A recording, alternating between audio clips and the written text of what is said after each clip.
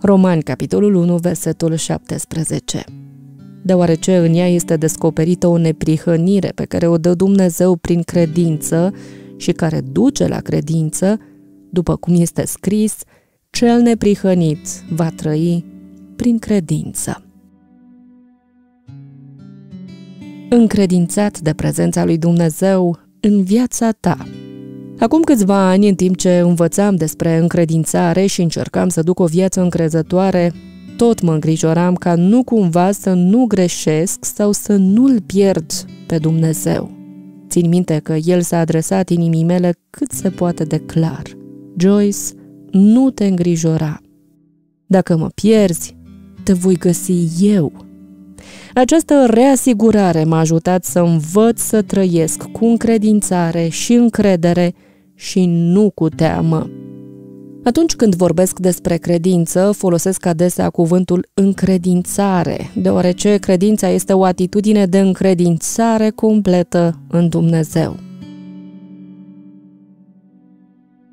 Aceasta este o asigurare care ne aduce în odihna lui Dumnezeu.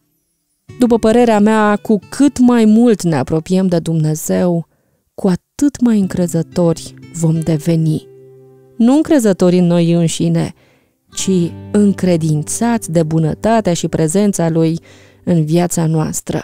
Putem fi încrezători atunci când ne rugăm, încrezători în relația noastră, încrezători atunci când luăm decizii, dar și atunci când ne îndeplinim îndatoririle zilnice. Astăzi, te încurajez să iei o atitudine plină de îndrăzneală și să spui voi trăi cu deplină încredințare în relația mea cu Dumnezeu. Cred că El mă va călăuzi, cred că pot lua decizii bune, cred că rugăciunile mele sunt puternice, cred că Dumnezeu mă iubește și că are un plan bun pentru viața mea. Nu trebuie să te simți încrezător pentru a putea fi încrezător.